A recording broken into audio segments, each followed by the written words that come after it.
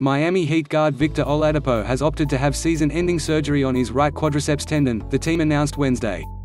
Oladipo will have the surgery Thursday in New York, and the team said there currently is no timetable for his recovery and return to play.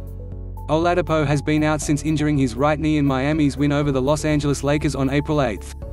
In 2019, Oladipo ruptured the right quadriceps tendon playing for the Indiana Pacers.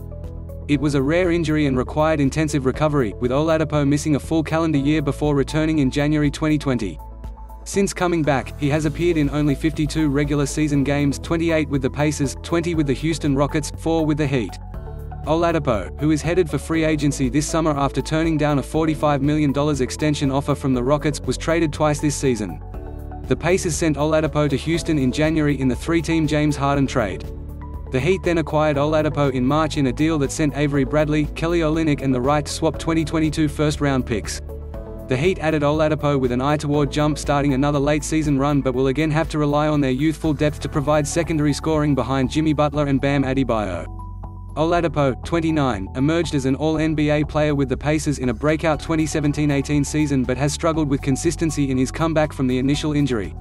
He averaged 19. 8 points in 33 games this season but with low efficiency numbers 40.